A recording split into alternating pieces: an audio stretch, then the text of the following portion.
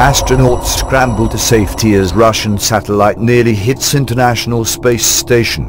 Astronauts living on the International Space Station, ICE, had to scramble for safety after huge chunks of Russian space debris came within meters of smashing into the giant structure. Large sections of a disintegrated Russian satellite flew past the space laboratory this afternoon in what NASA described as up close pass Spacemen on board the station had to scramble for cover after receiving the alarm too late to safely maneuver it out of the way. The three men stationed on board decamped into the Soyuz spacecraft, which is attached to the orbiting station, while the chunk of an old Russian weather satellite sped by. If it had connected it could have caused serious damage to the $150 billion station, which was launched in 1998. In a statement, NASA said, the crew of the International Space Station is resuming normal operations after getting an all-clear from Mission Control following a close pass by space debris this morning.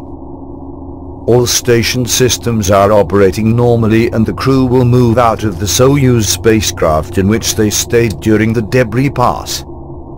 The crew on board includes Russian cosmonauts Gennady Padalka and Mikhail Kornienko and American astronaut Scott Kelly. Kelly was notified by NASA of the fast-approaching space junk at 10.30 a.m. this morning, about an hour and a half before the debris' closest approach.